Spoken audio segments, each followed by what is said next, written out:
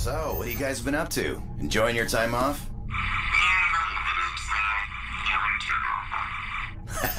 I know, right? You wouldn't believe the trouble I get into when I'm left to my own devices.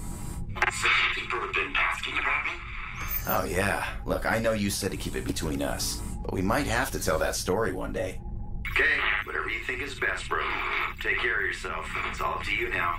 Alright, man. Take her easy. Good dude.